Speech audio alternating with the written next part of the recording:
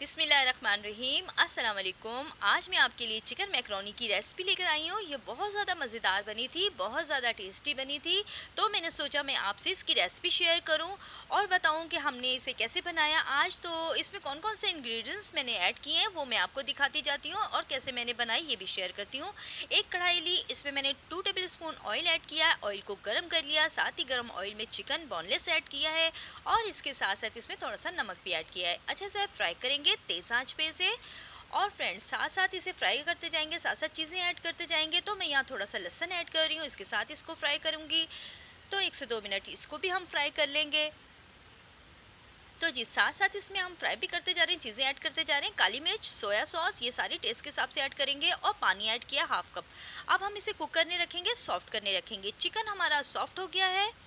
तो इसे साइड पे करेंगे और एक पैन लेंगे। इसमें हमने टू टेबल स्पून ऑयल डाला, सात गाजर एक डाली थोड़ी सी बंद गोभी, एक शिमला मिर्च और इनको बारीक बारीक चॉप किया और हम इसे फ्राई कर रहे हैं। प्याज भी एक ले ली थी छोटी तो हम उस वक्त तक इसे हम फ्राई करेंगे जब तक सब्ज़ियाँ खुशबू ना छोड़ दें। बहुत अच्छे से खुशबू आ रही है तो अब हम इसे चिकन में डालेंगे। सब्जियों को कभी भी ओवर कुक ना कीजिएगा। इसका फ्लेवर इसका टेस्ट ख़राब हो जाता है।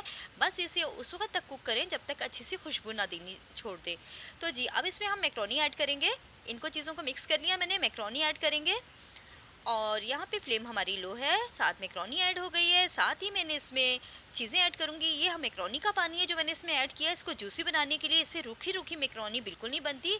तो साथ टू टेबल स्पून के करीब मैंने कैचअप ऐड किया है। कैचअप आप अपनी मर्ज़ी से ऐड कर सकते हैं फ्रेंड्स साथ ही मैं इसमें थोड़ा सा मैंने चाट मसाला भी ऐड किया था, थोड़ा सा सिरका भी ऐड किया था, जिसकी वीडियो मुझसे मिस हो गई है फ्रेंड्स तो मेरी मिक्रोनी रेडी हो गई है। मैंने थोड़ा सा दम पे भी रखा था इसे।